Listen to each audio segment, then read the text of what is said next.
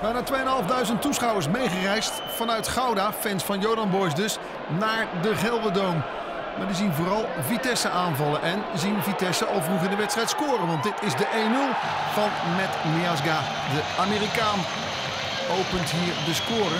Nadat dat wel eh, heel knullig wordt uitverdedigd. Met name door Bram van Loon. Die legt een pan klaar voor Miasga. En zo is het dus 1-0 voor Vitesse. En kort na de 1-0 volgt de mooiste van de avond. Want dit is een heerlijke goal van afstand van Atje Tigadouini. En zo is al heel snel in de wedstrijd duidelijk dat een nieuwe stunt voor de Jonan Boys, dat eerder dus won uit bij Go Ahead Eagles, er niet in zit. Bal op de lat hier in de tweede helft. Het is de vrije trap van Baker. Knullig uitverdedigen, ja dat gebeurde ook. Levi Marengo, daar doet dan heel licht zang in de rug. Maar de sanctie die volgt is zwaar, want daar is rood voor Marengo.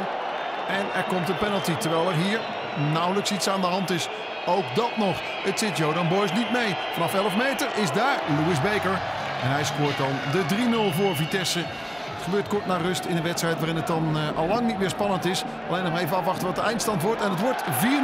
Voorzet van Fire, de debutant, wordt binnengekopt door Minot Rasica. Goeie voorzet. Daar ligt Zang al, maar de bal ingekopt door Rasica. En zo wordt de hoofdklasse uit Gouda uitgeschakeld. Maar hebben de fans van die club toch de avond van hun leven.